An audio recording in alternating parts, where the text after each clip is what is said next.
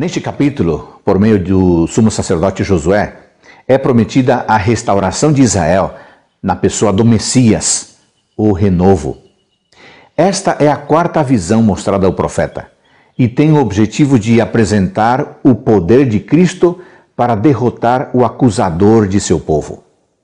A visão foi dada quando o progresso alcançado pelos construtores do templo aborreceu e alarmou as forças do mal, que eram totalmente contrárias à reconstrução do templo.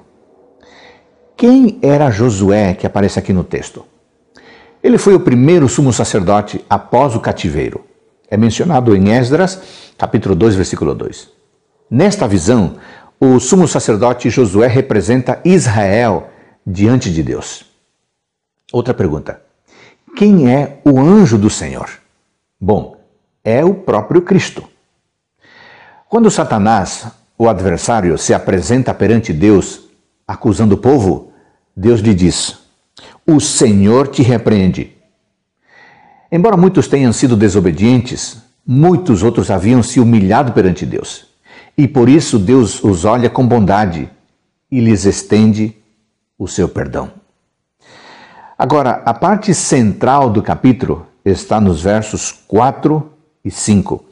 Esses versos falam da remissão dos pecados das pessoas que estão verdadeiramente arrependidas e de sua restauração ao favor de Deus. Amigos, a verdade é que nós não merecemos perdão. Mas o ponto aqui não é o merecimento do perdão.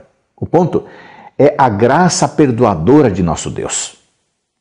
Você acha que não merece o amor de Deus? Você acha que não merece o seu perdão? Ótimo! O perdão divino é para pessoas como você, como eu, que achamos que não merecemos, porque o perdão não é merecimento. Perdão é a graça de Deus. Que você desfrute das bênçãos, do cuidado do Pai no dia de hoje.